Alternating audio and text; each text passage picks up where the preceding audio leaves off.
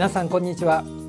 ほぼ5分でわかる人生相談 Q&A 幸せな人生の極意の第130回です。今回も皆さんの質問にお答えいたします。今回は共産主義の唯物弁証法の誤りを教えてくださいという質問に対してお答えいたします。弁証法とは弁。議論によって証真理に近づく方法のことを言います。弁証法の歴史は古代ギリシャのソクラテスやアリストテレスにまで遡ります。当時の弁証法は問答法とも言われ他人と議論する際の技術を意味していました。相手の話をよく聞いて矛盾点や疑問点があれば互いに指摘して検証します。そして互いに質問し答えを探りながら真理に近づこうとする対話です。目的は議論に勝つことではなく真理に至ることです。この弁証法を体制したのがドイツの哲学者ヘーゲルです。ヘーゲルの弁証法の要点は以下の通りです。ある命題が存在するとそれと矛盾するもしくは否定する反対の命題が存在します。両者は対立することで互いに結びついていきます。初めの命題を正否定の命題を反統合された総合命題を合と言います。このように発展するためには正反合の3段階の過程があると言います。ヘーゲルの弁証法を唯物論の立場で利用したのがマルクスです。マルクスはヘーゲルの弁証法を継承しておきながら私の弁証法的方法は根本的にヘーゲルのものとは違っているだけでなくそれとは正反対なものであると批判しました。マルクスの理論をもとにしてエンゲルスが有物弁証法3つの法則に体系化しさらにはスターリンがその要点を4つにまとめました。第1は相互関連性と変化です。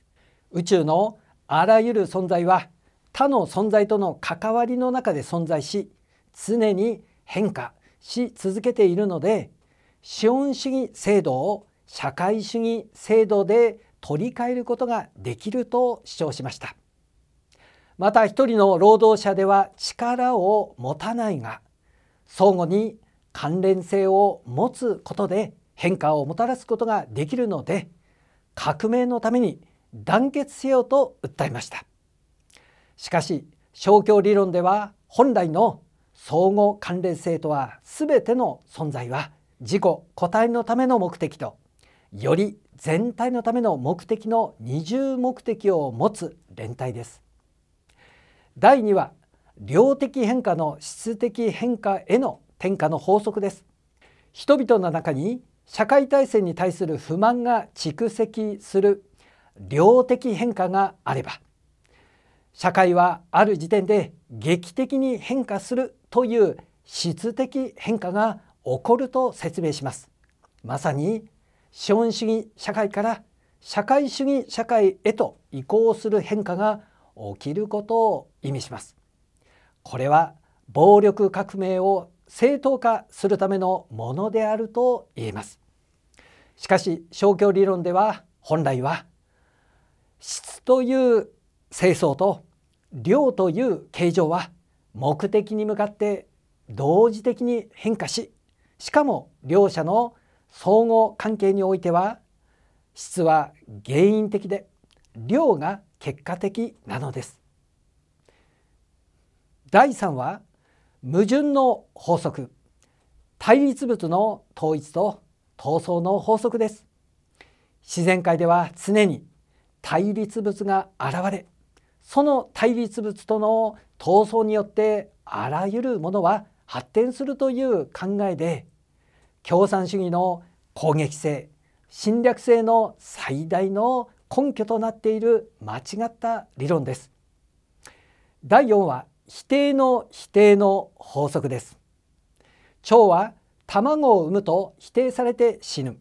さらに卵が否定されて腸が生まれる。このように否定の否定の法則は自然界を支配する法則だと言います。しかし腸は卵を産み繁殖という使命目的を終えて死にます。決して卵と闘争した結果ではありません。要するに共産主義社会へと暴力で革命することに都合のよいところを探して法則を仕立てただけです。勝共理論によればこれは本来闘争や否定ではなく主体と対象の受作用による円環運動を行い存在の永続性を維持している姿です。